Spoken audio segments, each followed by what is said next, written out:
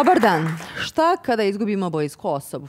Zdravlje, ljubav, posao, kada se razvedemo, kada dođe do kraja ili da bilo kakve promjene poznatog obrazca ponašanja. Kako nakon gubitka i tugovanja povratiti energiju i životnu radost? Kako umiriti um i tijelo posle traumatičnog gubitka? Na koji način nam drugi mogu pomoći da se oporavimo? Kako prihvatiti neprihvatljivo? Sve su to pitanja koja nas muče kada se suočimo sa gubicima u našim životima. A naši današnji gosti na temelju sobstvenih tragičnih iskustava nam pomažu da osvijestimo lične potencijale za prihvatanje gubitka i oporavak od tuge. Naša prva gošća dolazi iz Srebrenika, Indira Smajlović. Indira, hvala lijepo što ste došli u DNA Talk Show da podijelite svoju priču sa nama. I ne samo da ste došli, nego zapravo zahvaljujući Indiri mi radimo današnju temu. Zato što se jedna vaša prijateljica zapravo javila i podijelila vašu priču sa nama. Naravna stvar, dolazim sa pričom gdje sam doživjela veliku tragediju gubitak jedinog djeteta. Mak čerka je bolovala e, karcinom, osteosarkom, znači karcinom kosti. Posle gubitka moga djeteta e, ja sam nastavila živjeti. Kao što vidite, živa sam, tu sam među vama. I svakako da želim tu priču ispričati sa, sa vama i sa vašim gledalcima OBN? E, to su doista, evo kako sam ja rekla u uvodu, kako prihvatiti neprihvatljive stvari. E, čini mi se neke najbolnije stvari, najbolnije događaje koji se mogu dogoditi u životu jednog čovjeka, jedne majke. E, ne samo smrt djeteta, već sve ono što je prethodilo tome, ta borba sa bolešću i na kraju, evo, loš završetak zapravo. Nažalost vi nemate tu mnogo izbora. Barem ja u mom slučaju nisam imala mnogo izbora, nego jedini izbor je biti jak. Znači, kroz borbu biti jak, a posle, kada je mak čerka izgubila borbu, morate imati samo poštovanje i samo pouzdanje. Vi morate da nastavite život. kako ćete nastaviti svoj život. Pa veoma je bitno da se družite sa pozitivnim ljudima koji vas vole, koji vam daju tu snagu. Ja sam to doživjela, inače zaposlena sam u javnoj ustanovi. Ja nisam žalovala godinu dana posle moje kćerke. Ja sam se vratila na posao sedmi dan i počela raditi isto kao i dok je mak čerka bila živa. Znate kako, kada se vi zatvorite u kuću, vi onda imate vremena da, da razmišljate. Pa zašto je to bilo? Pa kako je se to dogodilo? I najposle, jedno od najtežih pitanja na koje nikada nećete dobiti odgovor, zašto je to meni bilo? Znači, bolest ne bira ne pita nas bolest čija sam ja čerka, čija ste vi čerka, nego eto karcinom je bolest modernog e, doba i trebamo da prihvatimo. Znači da je to svakodnevnica. Ja sam e, prihvatila bolest moje čerke. Moju čerku liječila tri godine. Sarajevo, Tuzla, Ljubljana, Znači, u tome sam bila sama, samohrana majka, ali ja sam imala podršku mojih prijatelja, mojih kolega policijske stanice Srebrenik. Imala sam podršku Jasminini drugova, drugarica, znači cjelokupne općine Srebrenik. Pomogli su mi dosta da se izborim sa tim. Naravna stvar, vi znate, gdje god skrenimo da su potrebna novčana sredstva.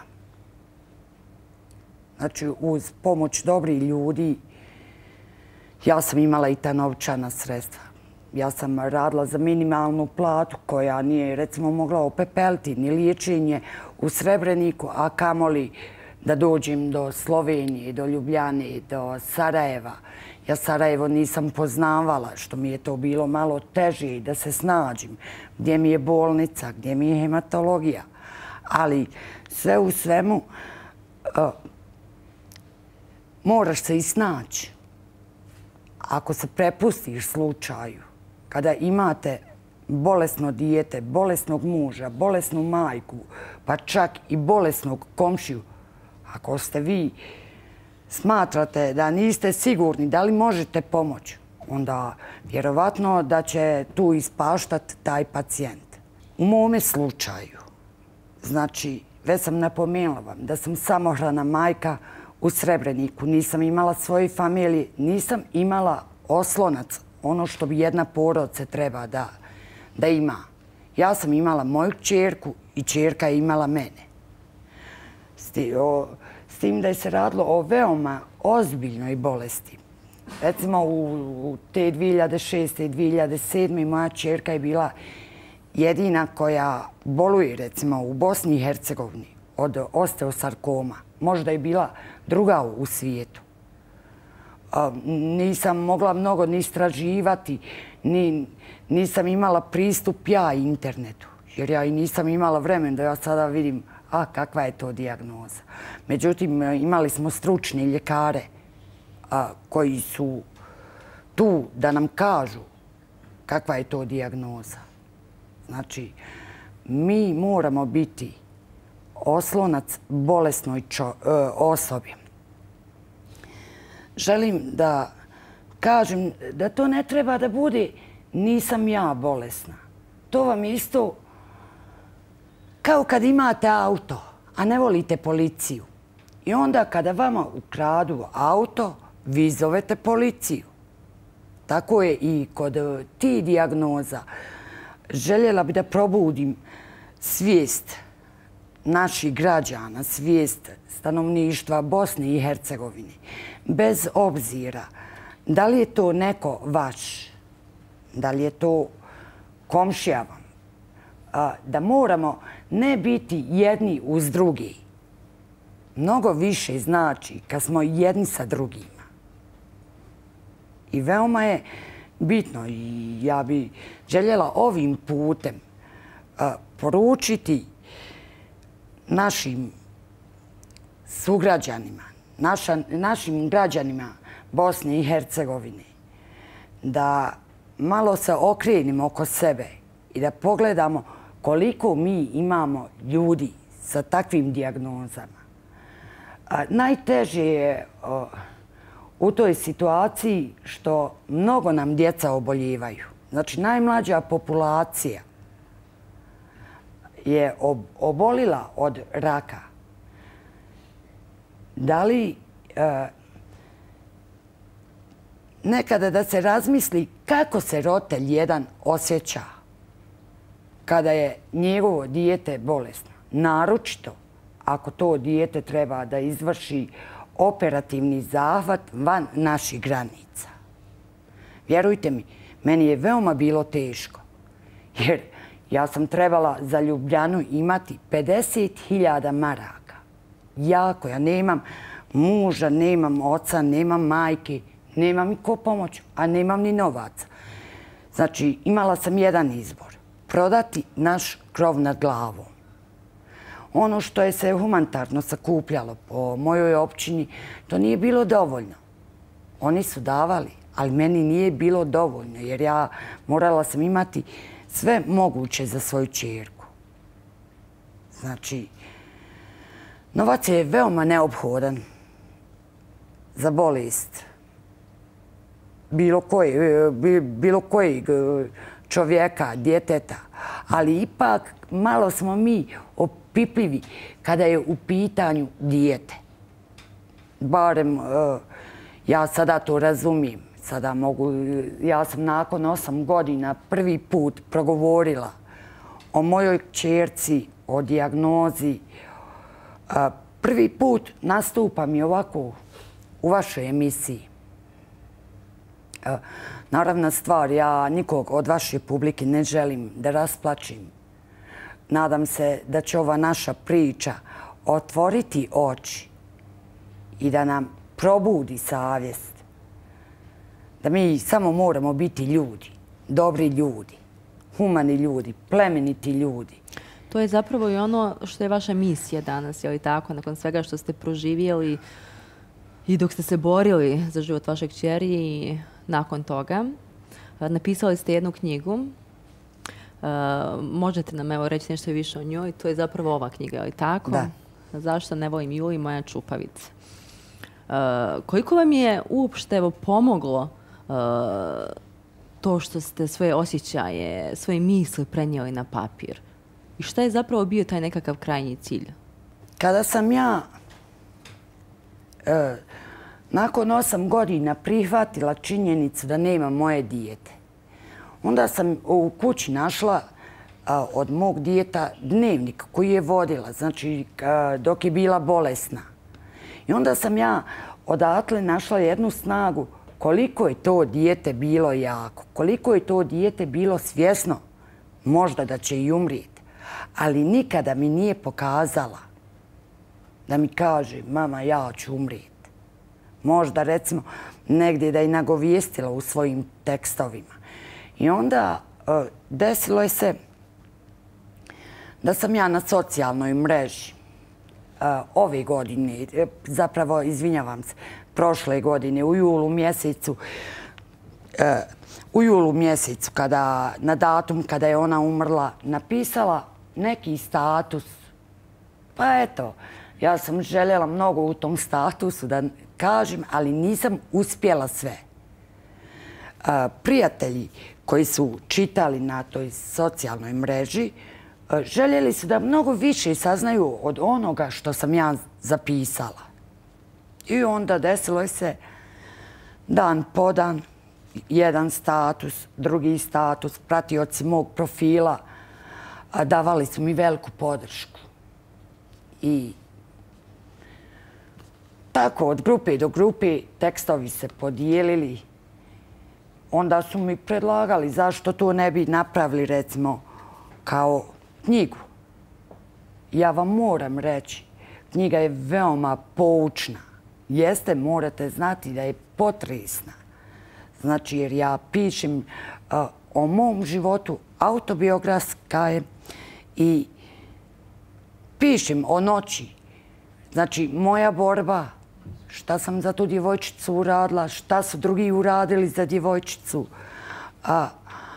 I na kraju zaključak na koji način ta djevojčica gubi svoju bitku za život. E onda sam doživjela da jedna gospođa Edina Kurtović, profesorca bosanskog jezika iz Sarajeva, ponudi mi da mi bude lektor knjizi. Znači, bez novčane naknade. Znači, i to je jedan dio humanost. Ja sam svoje tekstove njoj ustupla, lektorisala je, zatim smo ovaj, krenuli, treba, treba mu štampati. S tim da je u mene veoma minimalna plata. Ja sam od mojih prijatelja dobila novac i uradila knjigu 300 primjeraka. Moja prva promocija je bila 28. decembra, znači 2017. i bila je veoma, veoma posjećena i ja sam se iznenadila da jedna obična žena, jedna majka, koju oni nazivaju heroina, može napraviti u jednom malom gradu takvu stvar. Ono što trebamo svakako reći jeste da vaša knjiga ima human cilj. E, da vi zapravo sredstva od njene prodaje želite usmjeriti u jednu vrlo korisnu, dobru stvar. E, sva donacija od knjiga usmjerit će se prema osnivanju fondacije za djecu oboljela od raka i leukemije. E, znači, iz humanih razloga, iz, iz oni iskustava kako sam nekada ja prosila novac za moje dijete. Ja želim da zaustavim na, jedan način, da, olakšam uh, svim roteljima odakle bi mogli crpiti novac. Znači ja sam spremna i pozivam sve privrednike kada se osnuje fondacija da se priključe i oni da podrže taj projekat. Ne da bi mi zaživjeli fondaciju, nego fondacija mora živjeti za buduće generacije, za nečije unuče, za nečije dijete. Ja bi najviše željela da nijedno dijete nije bolesno. Ali međutim, na veliku žalost, ja tačno znam recimo da imamo četvero djece iz Srebrenika koji su oboljeli od raka i leukemije. Sutra kada bi trebali da izvrši transplantaciju, e, ja mislim da bi bilo teško skupiti novac. A evo, znači ovim putem, znači sav prihod od knjiga ići će prema fondaciji. Ja od fondacije želim samo da nosi ime moje čerke Jasmina, a ono sve drugo od mene i od srca je. Evo, to su doista plemeniti ciljevi. Ja se nadam da ćete vi uspjeti u vašem naumu uh, i stvoriti fondaciju i da će fondacija pomoći svima onima kojima je ta pomoć doista najpotrebnija. Uh, Indira je doista jedna heroina, kako su vas i nazvali na promociji vaše knjige. Uh, za sve to u životu je potrebno mnogo snage, kako ste i sami rekli, zapravo da čitaoci kroz vašu knjigu mogu pronaći tu snagu, vidjeti šta je to vas nosilo uh, i donijelo evo do ovog današnjeg dana da, možete na taj način pričati o svemu što se dogodilo. Još ćemo razgovarati nakon reklama, a i vi, poštovani gledalci, ostanite s nama, brzo se vraćamo.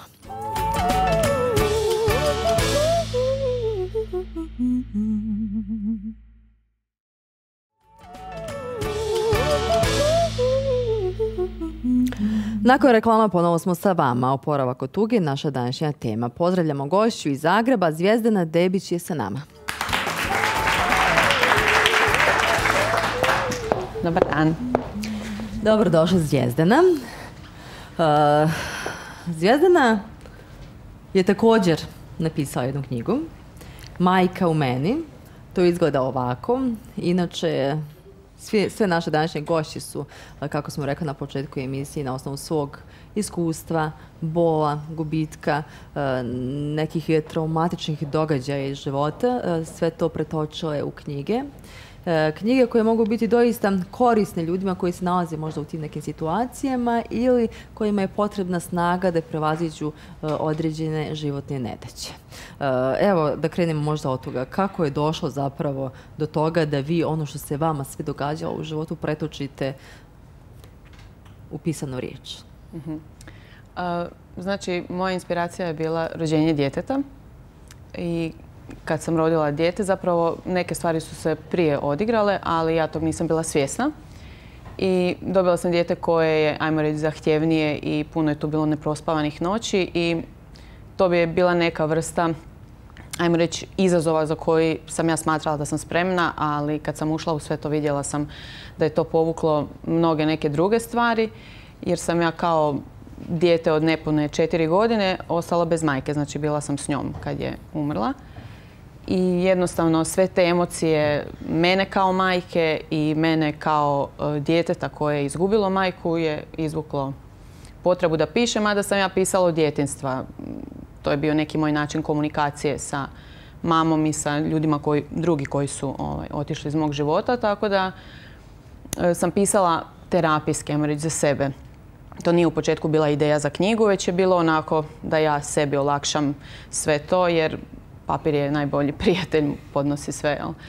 Ali onda sam vidjela tijekom tog svog perioda majčinstva da mnoge druge žene prolaze kroz sve to, da nije tako majčinstvo baš kako se prezentira, samo da je to lagano, da je to samo ta velika majčinska ljubav, već da tu ima jako puno iskušenja i majke kao osobe i majke kao majke i supruge i tako da knjiga obuhvaća dosta tema od intimnih odnosa između partnera koji, ovaj, koji se promjene. Recimo naslov tog poglavlja je Volim seks i rado ga se sjećam.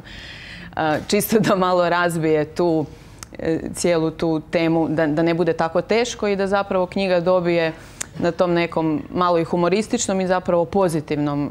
Da, završetak knjige je dosta onako, uh, ajmo reći, pozitivan za razliku od početka kako knjiga kreće od tog tragičnog događaja. Sa četiri godine vi niste baš ni mogli biti svjesni zapravo šta se događa u tom momentu. Meni je najveći problem bio to što sam ja bila sa mamom koja je me poslala da odem po tatu kao pomoć. je pozilo bilo taj dan.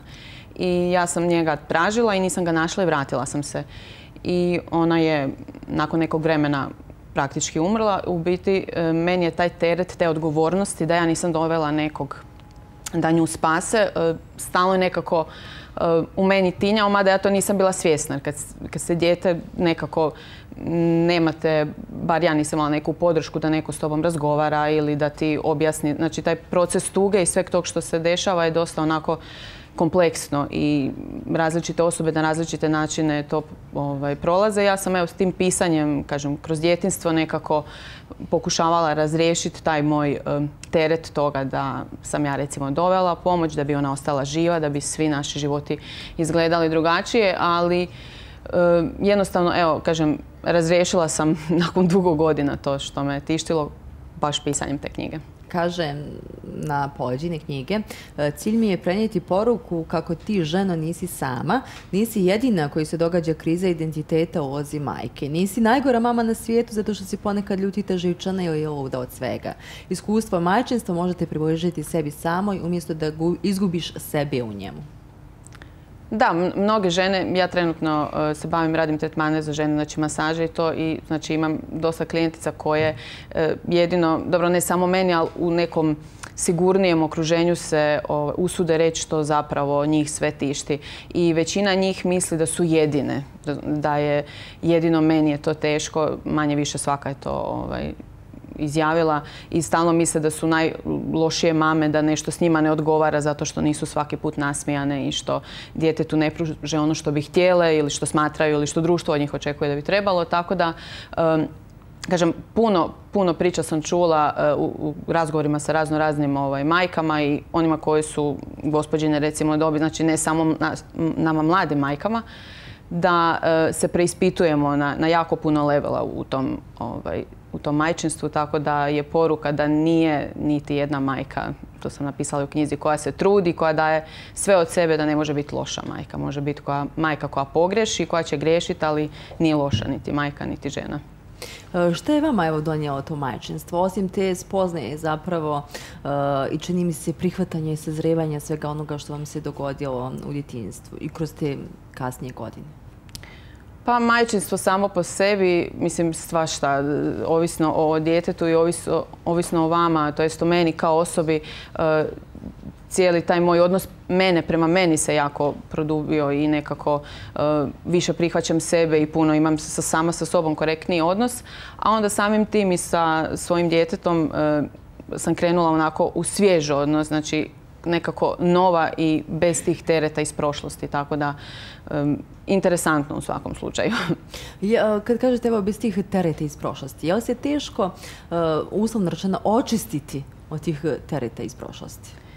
Pa ja bih rekla zapravo da i nije. Samo što smo mi svi jako kritični prema sebi i jako smo oštri. Više, e, teže sudimo zapravo i oštrije sami sebi nego drugima. I jednostavno, e, stvarno sa tim prihvaćanjem, što je isto spomenuti u knjizi, korak po korak dođemo do toga. Samo jednostavno mi zamislimo neku sliku kakvi bi trebali biti, ne damo si prostora, ali nije u suštini tako teško. Evo, e, dopada mi se što knjiga završava tim nekim pozitivnim završetkom. Da. E, što nosi lijepu e, poruku, dakle za sve one svježe mame, možemo ih tako nazvati, koje možda imaju nekakve dileme, procese prihvaćanja u sebi. Evo jedno interesantno štivo. Mi ćemo još razgovarati, ali ćemo predstaviti još jednu damu koja nam dolazi u goste. Elizabeta Suzana Kozina je sa nama. Elizabeta, dobro došli. Elizabet, uh, koja je svakako, evo, poput i naših drugih gošći, uh, dama na osnovu svog životnog iskustva napisala uh, knjigu ili knjige, knjige. da kažemo. Dakle, ja sam, ja sam iz Splita, odnosno točnije iz Klisa, živim u Hrvatskoj. Poznata sam po torbama koje radim, jedna jedine na svijetu, odnosno četvrta sam Hrvatica nakon e, Penkale, Padobrana i Kroate koja je izmislila i lansirala novi proizvod e, i majka sam, baka sam i sve. Meni šta se dogodilo? dogodilo se, dogodila se bolest, u stvari ja sam imala težak moždani udar i dva lakša. na prvom moždanom udaru kad su me fino spakirali u bolnicu, i ono malo što sam govorila, uspjela sam se posvađati sa doktorom i napusti bolnicu nakon sedam dana zato što mi je to bila izuzetna trauma. Osim traume koju sam doživjela, bila mi još trauma kad sam vidjela žene kako tu postaju biljke.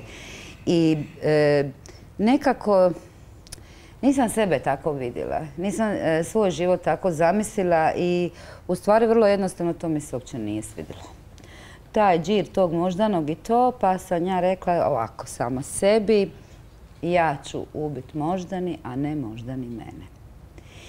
I e, kako e, vjerovatno i dio publike zna i e, koje su posljedice moždanog udara, znači vi niste pokretni, vi nosite pelene, vi ne možete govoriti, zaboravili ste riječi, e, jezike ako ste govorili. Sve me to fino pomazilo. I kad sam e, došla kući, nakon svađe sa glavnim liječnikom, šta ću sad? I onda sam otvorila Facebook. I onda sam napravila e, u jednoj grupi što mi je e, admin grupe rekao, to mi je bilo smiješno, budi kao svaki pošteni Hrvat, ukradi tekst i potpiši se. A ne napiši svoj tekst i potpiši drugoga. To sam napravila. I počela sam pisati kratke objave. Odnosno, što sam ja radila? Ja bi jednu priču ili cijeli roman, a, e, išla sam vježba mozak, da cijeli roman stavim u jednu rečenicu nevjerovatan talent. E, da vam bude još iskrenije, išla sam kod svećenika pitat ga da sam malo on kaže, ma e, gospođo, znate šta to se zna dogodi nakon možda noga, da čovjek laže, ali nema veze, utješija me. Govori, ali samo vi pišite, samo vi pišite. I ja sam ovi pisala, pisala i dalje po fejsu, ali onda sam potpisivala sebe jer e, nisam išla, e, ja sad, bit ću sad ja super woman, osim šta torbe radim, sad ću ja biti pisac, ma to mi nije bilo ni u peti. Ali što se dogodilo? Dogodilo se to da su me počeli e, zvati izdavači. Znači, onda gdje ljudi obično imaju želju napisati knjigu, traže izdavače, a mene su zvali, koji izdavač, nema ja pojma, ba ne zna ni pisati, ja ne znam ni č, ni č, ni je, je. Nego e, su meni ove iz tvrtke moje pomagale da to izgleda bar pristojno, da, da, budem kao pismena. I ovim, tako sam se odlučila za izdavačku kuću i nastala je, e, znači, ja, znači ja dugo pišem, godinu dana. Uspjela sam napisati e, tri po knjige. Ovo je prva knjiga, e, znači Minute ženske mudrosti. E, I dizajnirala sam je. Jer sam računala najbolje ako će me neko zezni da zeznem samo sebe. Tako da to izgleda ovako. A druga knjiga vam je Blokiraj se sama, zapis jedne fejserice, sve ono što sam ja pisala po fejsu i sve ono što me počastilo i lijepo i ružno, pa nek se čitaju. Je li i glupost treba unovčiti, zar ne? Evo, još publika se slaže. I onda sam ovako rekla, e, svaki dan sam vježbala. E, vježba, e, za usnevanje tad potrebna vježba sviranje flaute ili nečega. Mislim, ja, sam totalno bez, talenta za sviranje ičega. Tu, tu katastrofa. Za pjevanje još gora i tako. Ali sam vidjela da to u ne nervira. I onda mi je baš bija gušt. Ja sam se dala, pa vidite kako lipo priča. Ja sam se tako lipo dala u vježbu, bar da njih nerviran. I lipo sam ja šetala, šetala, šetala. I onda sam rekla, ma nekako mi je preblizu da tu šetam oko kuće tih sat vremena, sat i povremena.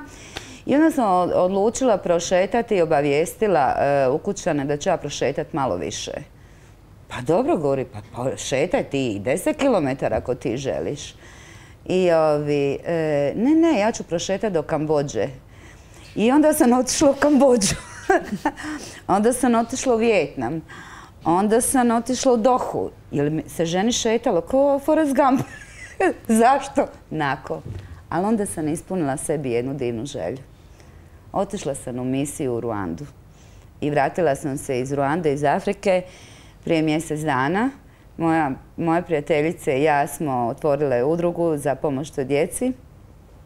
Tako da ja, ja sam žena koja znači može ležati na podu, tamo nema ništa. Nema struje, nema vode, nema higijenskih uvjeta.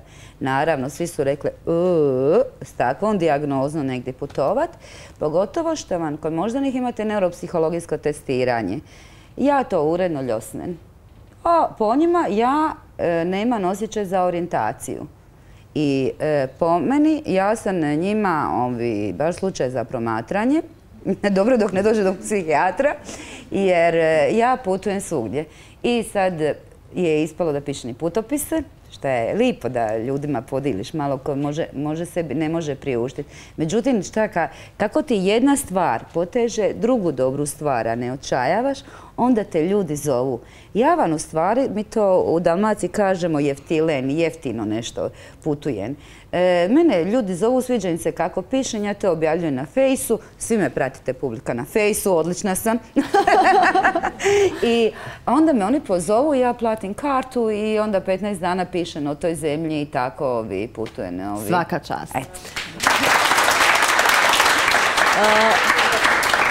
Ja vas moram sad samo pitati, evo, za sve one koji nas prati, koji su danas u tim nekakvim teškim životnim situacijama, koji su možda nedavno dobili neku dijagnozu. Uh, iz vašeg iskustva, kako skupiti tu snagu, kako izdržati, kako uh, preživiti uh, dijagnozu, mhm. kako je prihvatiti?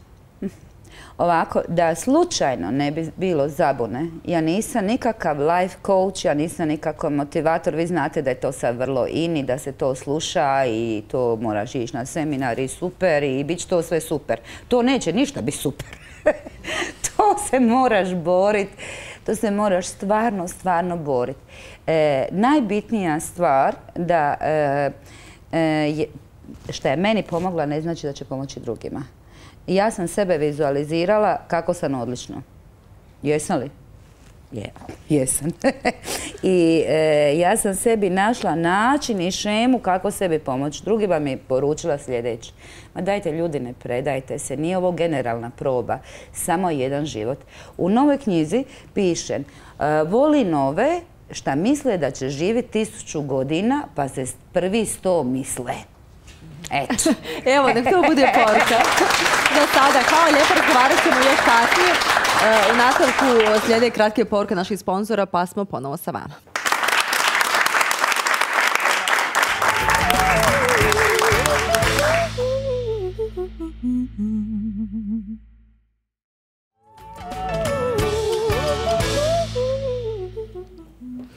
Ponovo smo sa vama, predstavljamo našu narednu gošću. Ankica Brekao je sa nama. Dobro došla Ankica.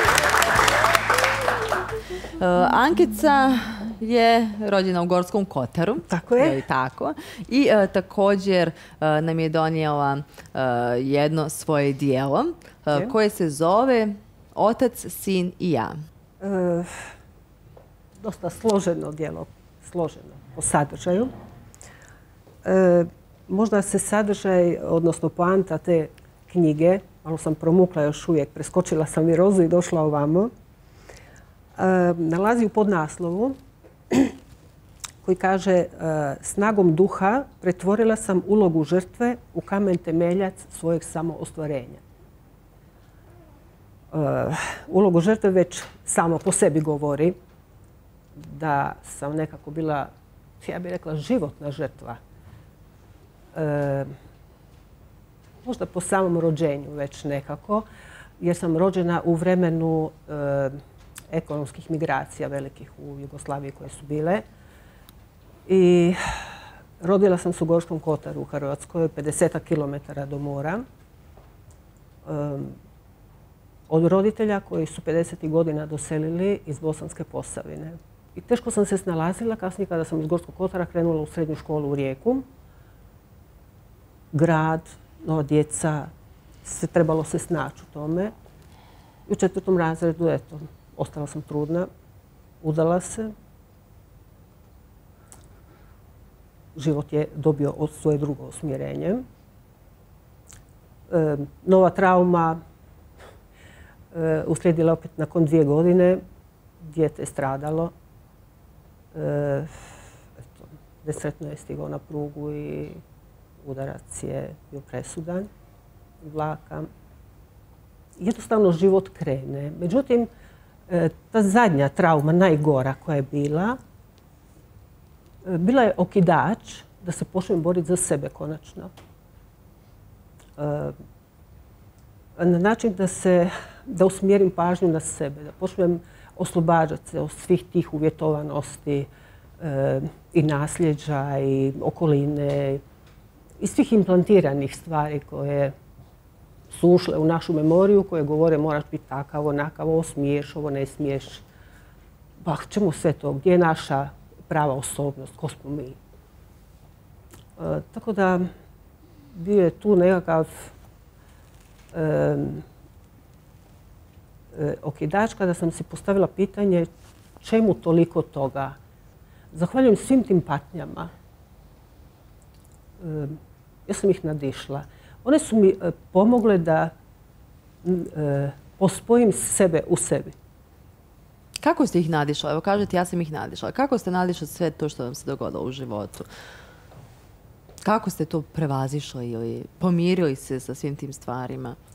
Kada čovjek pokuša tražiti i nađe, svako za sebe nađe, nekome možda to i neće biti e, opravdano, realno, naći smisao, naći korist ne za druge, nego za mene, za moje dobro, za moj rast. Sve što nam se u životu događa, događa se s nekim razlogom. Ništa nije, eto tako, zbog nekoga. Isključivo zbog mene. I pratila sam eh, poruke, mm, znakove na putu koji bi mi dolazili. I sa svakim tim osvješćavala e, da sam snažnija, da sam ha, snažnija, jednom riječu, kako to, više svoja, kompletnija. E, danas me tuga i bol ne dodiruju. Jer znam da one dođu kao učiteljice, kao kontrolni kojeg se ne e, bojimo pašće.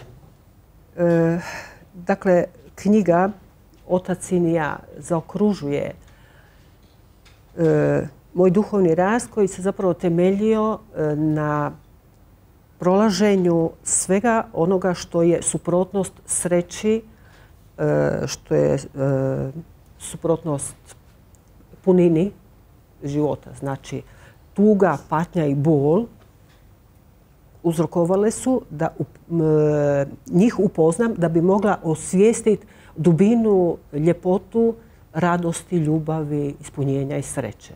Htjela bih naglasiti zapravo da e, kroz nadilazak svih tih e, težina pronašla sam e, veliku duhovnu snagu u sebi koja je zapravo iscijelila sve to E, pokrenula me u jednom drugom smjeru življenja. E, ne više želje nekakve strašne pomagati ljudima, ali ljudi sami dolaze. Bavim se, eto, e, duhovnim iscjeljivanjem. I jednostavno kad pričamo dalje o životu, toliko toga sam prošla da mogu svakoga doživjeti, svaku, njihovu, svaku njegovu težinu. I ljudi uglavnom počnu pričati ono što, zbog čega su se razboljeli, što ih pati. E, I samo osjećaj da ih neko razumije, već im je daleko bolje. I tako je nastala je ova knjiga da iznesem sav svoj put jer nije samo jedna težina, ni dvije, ni tri, nego 40 godina skupljane težine, e, proces kojim je e, nastajalo zapravo otpuštanje, oslobađanje, e, kao pomoć nekome ko će se poistovjetiti u nekom njenom dijelu i oni koji su je pročitali zaista su u tom smislu i potvrdili. I ono što bih, ne znam, smo prvu rečenicu i drugu kao poantu, mhm. E, ponosna, sam što sam nakon svega stekla bogatstvo, mir u glavi i duši. E, taj mir nasušno potreban svima, razlog je zašto sam odlučila s vama podijeliti svoju priču o oslobađanju uma i duše od posljedica krutog odgoja, svojeg porijekla, osjećaja bezvrijednosti, tuge nad osobnom tragedijom te autoriteta crkve i duhovnog jednoumlja. E, iznosim najosobnija životna iskustva i kako izgledaju sve teorije kad ih primjenjuje jedna obična ja, probijajući vlastite ograničenja potpuno sama snagom volje da preživi vlastiti život. Zavolite sve svoje nesavršenosti. Zavolite sebe bezuvjetno. Hvala Ankice, evo to je upravo poruka i pouka svega onoga što ste nam e, pričali u prethodnim minutima i evo što uh, čitaoci vaše knjige e, mogu spoznati sami. Hvala vam za sada. A u nastavku predstavljamo narodnu gošću. Milica Bošković je sa nama. Dobar dan, Milice. Dobar dan. gospođa Milica nam dolazi iza Sarajeva. Da. I evo, vi ste također E, napisali nekoliko knjiga koje možemo vidjeti lijevo od vas i sve su one e, posvećene vašem sinu. Pa evo, za razliku od naših prethodnih gošći, meni je to nekako i profesija, jer sam ja profesor književnosti. I Pisala sam i ranije, samo nisam pisala poeziju. Uglavnom sam se bavila strukom i pisala sam stručne radove, pripremala lektiru za djecu i tako to. I kad sam mislila da smo otprilike sredili svoj život, kad je moj sin dobio konačno stalni posao kao diplomirani pravnik, kad sam ja otišla u svoju zasluženu penziju nakon 40 godina rada u razredu, onda me jednog dana poput groma udarila vijest da mi je sin poginuo. Nesretnim slučajem pao sa stijeni. I od unutrašnjih povreda preminuo.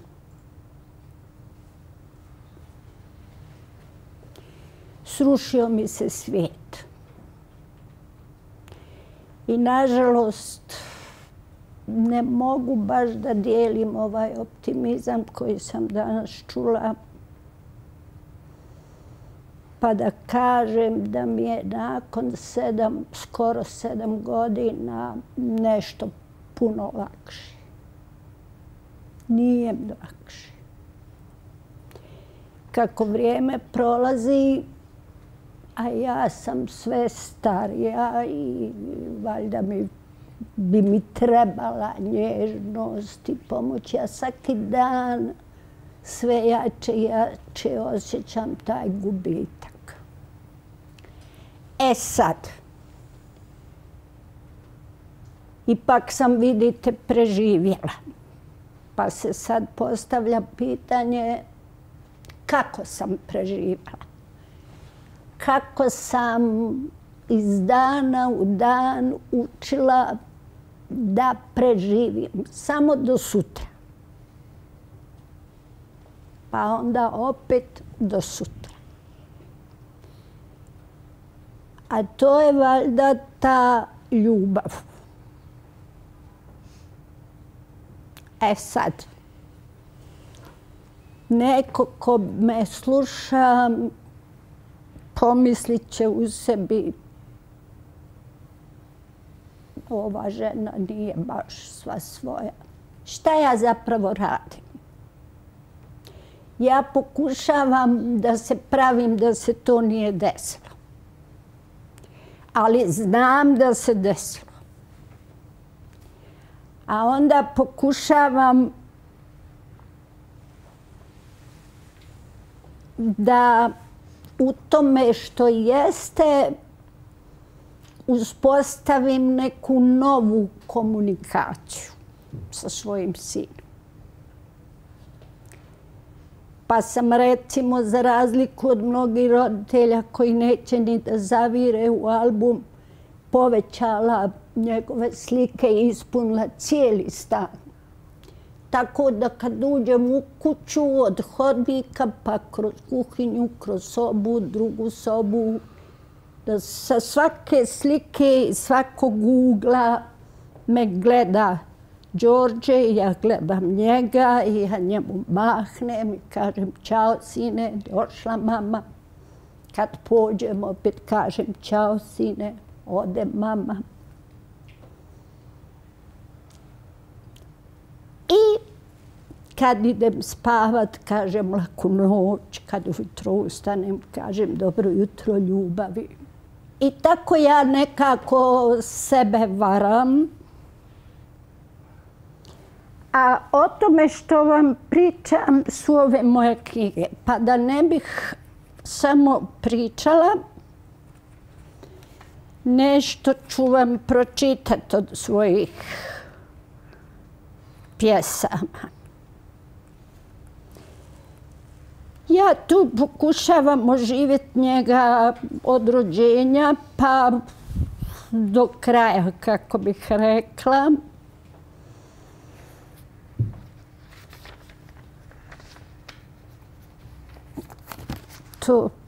Ono.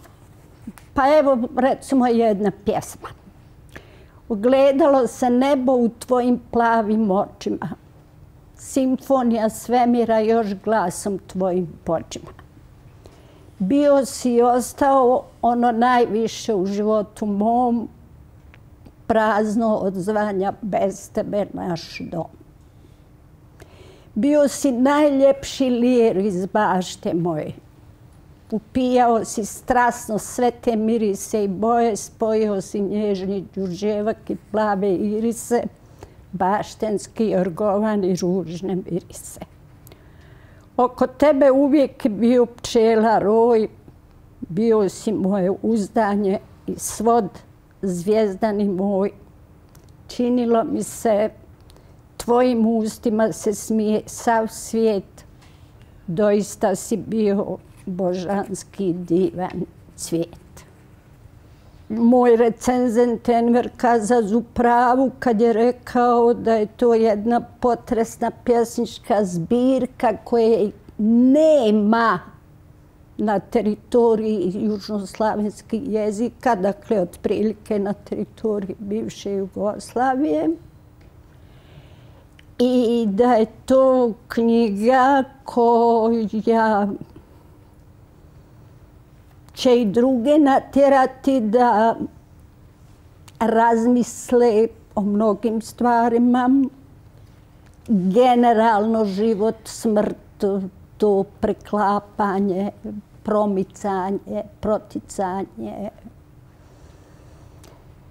a u završnom dijelu je napisao, Milica je napisala knjigu od koje staje dah da bi nas u svom bolu i tragediji pozvala na suosjećanje i ljubav kao topo se spasa i utočišta u kojima se ne možemo spasiti od smrti, ali u kojima bi naše duše mogle osjetiti tinovsku harmoniju sfera i pobratimstvo lica i stvari u svemiru, jer u njemu, kako kaže pjesnikinja, sve je jedno mi, trava i cvijet. Da, evo, to je upravo ono što nam definitivno svima više treba. Susjećanje i bolje razumijevanje tuđe patnje. Hvala gospođe Milice za sada. U nastavku slijede reklame, pa smo ponovo sa vama.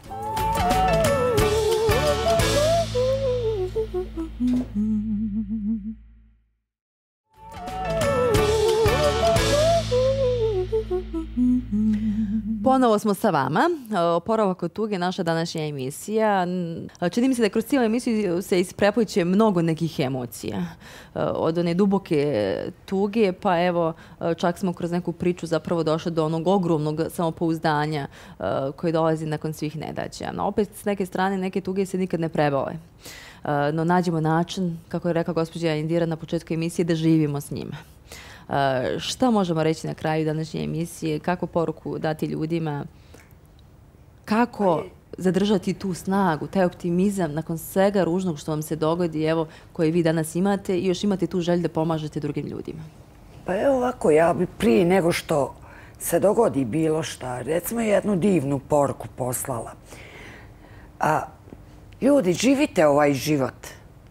Nemojte dozvoliti da život živi vas.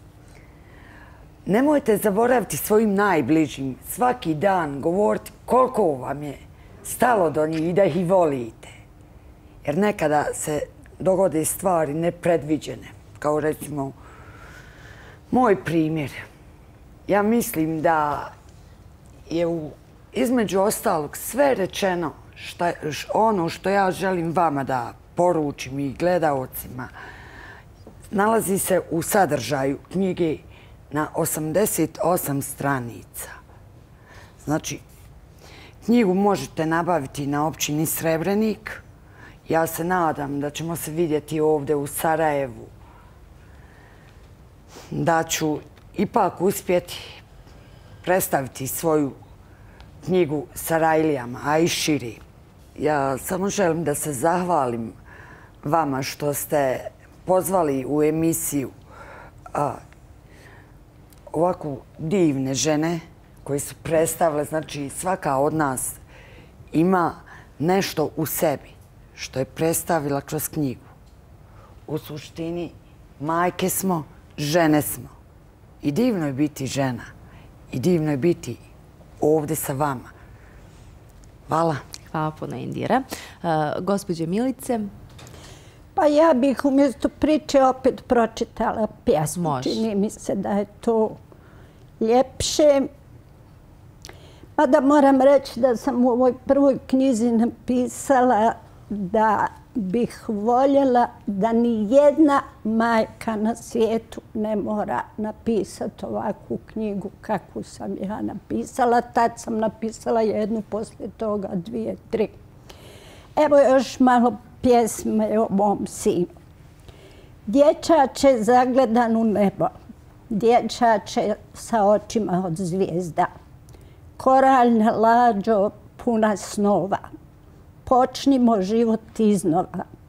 Sad znamo što nismo znali, da je tle života sklisko, da treba pažljivo korake birati sa više mudrosti i žara, jer što dan isplete noć opara, izreka je mudra stara. Ti si moja zvijezda sjajna, moj mjesec mlađak u noći, moja misa u samoći, moja nježna duša bajna. Ti si moje jutarnje sunce, što obasjava dolove i vrhunce, ti si svjetlo u mojoj glavi da me crnilo ne poplavi. Ti si moja bijela lađa, moja ptica nebeska u letu, čuvaš me od beznađa. Ti si mi sve na ovom i na onom svijetu. Jedino što sam naučila da bol treba odbolovati, a tugu isplakat. E, tome suze služe. Da se duša suzama ispere, očisti, oslobodi od bola, da ostavi prošlost prošlosti i treba živjeti na kraju život koji je nama dan. Da postaneš ovoga radostan, da kreneš živjeti sadašnjost za budućnost, ali prošlost treba otpustiti. Jer stojimo na mjestu, nema. Ostajemo uvijek u patnji. Dakle, ja dok sam pisala svoje teške ovaj, priče, meni je trebao ručnik da skupim suze kad bi ih išla sve skupa sabrati. Ali više me to ne, ne progoni. Čista sam, slobodna sam, rasterećena i što se toga tiče u miru sam. I to je veliki blagoslov. Pa ja bih se nadovezala na e, gospođu Indiru što je rekla da bližnjima trebamo govoriti kako ih volimo, e, trebamo i sebi svaki dan. Jer na kraju krajeva šta god da se evo, izdešava, ostajemo sami sa sobom i kad postignemo taj mir sa sobom, onda je to nekako sve lakše. Ali sebi isto govori da se volimo. Hvala lijepa. Hvala lijepa. E, I Elizabet za kraj. ne sjećam se. Jesam li rekla da sam trostruka baka? Niste. Ali evo sad ću. Bravo, svaka čast i predivno izgledate. Predivna baka, predivna trostruka e, baka. E, samo nastavite, ne možete zamisliti koliko komplimenata mogu primiti. Nastavit ću posle emisije. E, ja sam vam poslušala Ničeja koji je prepisivao kuru smijeha svaki dan. E, nemojte misliti da ja nemam tuge. Imam i nosim se sa njim, ali sam izabrala način da e, to prebacim e, i da se zaštitim neozbiljnošću. A gdje ćeš veće ozbiljnosti od neozbiljnosti? Pa sam, stoga ću pročitati iz ove prve knjige. Sve vam je kratko, neće vam biti dosadno. Vi znate kako autori pišu o obavezno pišu knjigu posvećujem mami, tati, susjedi i to. Pa posvetila i ja. Naslov tradicija iz prve knjige. Apsolutno ću poštivati tradiciju. Svi koji napišu knjigu posvete nekome i zahvale. Tako ću i ja. Ovu knjigu posvećujem sebi i beskreno si zahvaljujem. Drago mi da smo u ovom tonu završili današnju emisiju. E, pošto e, ja imam više komada djece koja ne daju da spominjem broj, e, tako mi došli unuci, djeca vode ljubavovi, imam i njih na fejsu inboxu i ovdje sam samo izvadila dio iz ove knjige obitelju inboxu. Vidite šta, šta meni moja djeca pišu. Zašto si me označila u objavi? Drugo, zašto me nisi označila u objavi? Šta ja smrdim? Skini ono isti sekund. Četvrto, mogla si objaviti ono o meni, ne biti kruna pala. Peto, blokiraj me. Telefonski poziv zvr, da si me odmah odblokirala. Sedmo, neću onu fotku ružno sam ispala. Stavi onu di si ti ružna. Osam, opet si poludila šta pišeš o svemu. Devet. Nije ti loša ona objava. Deset. Otac ti se ljuti, puno pišeš. Pišeš. Jedanajst. Otac ti se više ne ljuti. Pišu zagrade. Otac uopće nema face moj. 12. Je li oni face razumiju da ti imaš djecu i unuke? Ovako ispada da ko cura živiš. 13. Isuse, pun mi je kufer tvojih objava. 14. Naravno kad im odgovara aj podili ovo ti si praćena. 15. Mogla si blokirati onoga koji ti se upucava onako javno. 16. Hoćeš da nađemo onoga i stučemo ga. 17. A šta će čovjek jadan? Lipo mu drugi put odgovori. Biće je jadničak sam. 15, 16 i 17 su naravno priče o istom čovjeku. 18. Da nisi objavila ništa o meni prije mene. Kao da znam o čemu priča. 19 blokirat ću te. 20 mama volim te.